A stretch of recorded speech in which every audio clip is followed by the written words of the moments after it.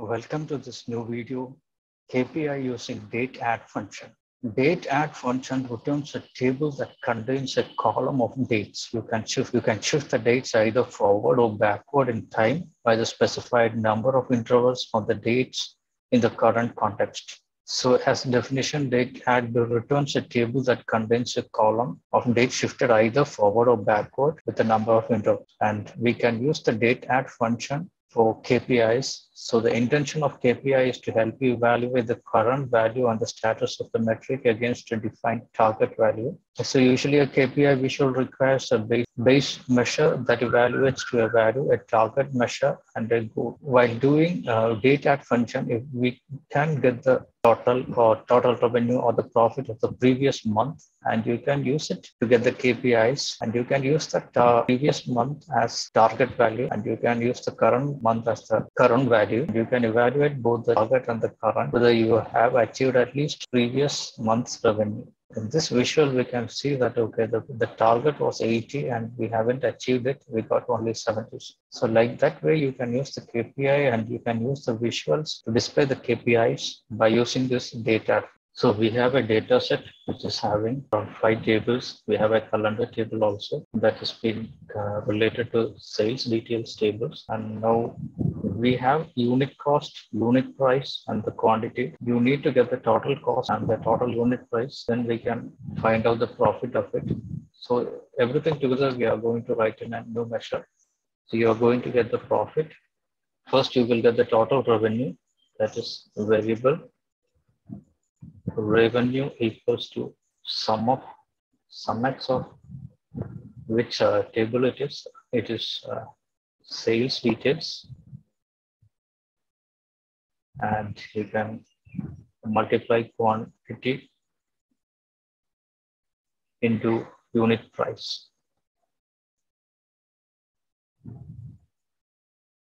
So like this, we are going to get the, revenue table in the variable and now we'll get the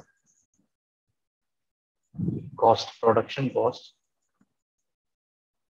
Cost the same way sum x sales table. And then we will get the quantity.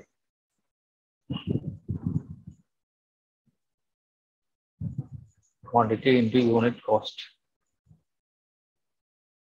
So now we are getting the production cost.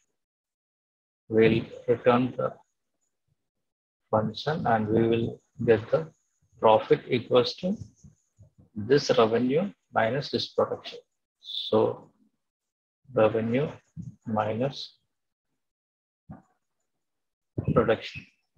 So like that, we are going to get the profit. Now we will select a table from visualization and we will give the date for it. And we'll just take a year and month. We can take the profit so this profit measure, it has been filtered and it is shown with respect to the months. Now we can create profit of the previous month so that we can compare the previous month with the current month. So for calculating the previous month, we need to use date add function and you need to give the interval as minus one for the previous month. So we will give the new measure and previous month profit. We can use calculate function and you can get the profit as expression. And this profit. And we are going to use date add. And we are going to get the date, calendar date.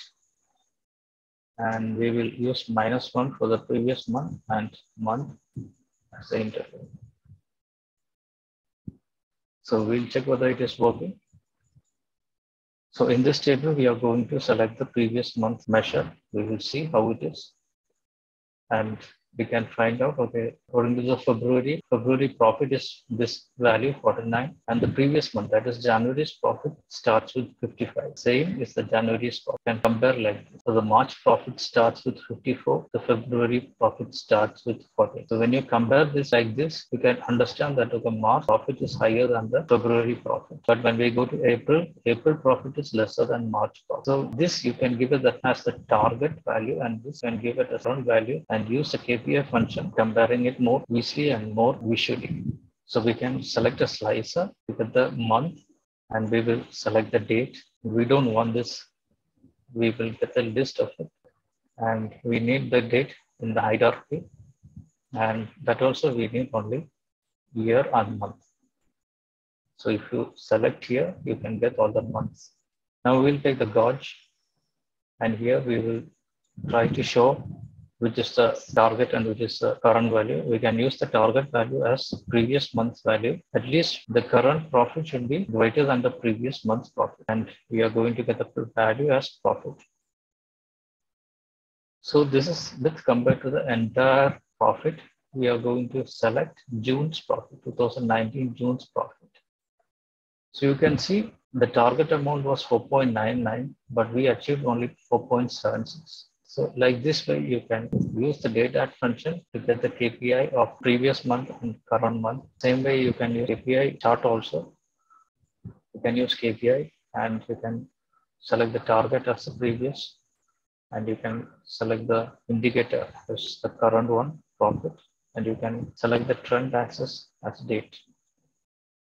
Now, so now it is showing exactly when you use the KPI visual, it will show in a more advanced and perfect way. It, we can see the goal was 4.99, but we achieved only 4.76. So it was minus 4%. So at the time, same time, if we take March, so March it was totally higher because March, February, the total was 4.92. So the March goal was 4.92, but March came to 5.50. So like this data, date add function can be used create the KPI to get the previous month's profit or previous month's revenue and compare with the current month's profit or current month's revenue. So when you're, if you're ambitious, you can use the target value as previous month's profit into 1.05 or something. And you can get the target more than the previous month's target. So like this way, date add function can be used to get the KPIs. If you have any doubts regarding this, you can comment it. Have a nice day. Thank you.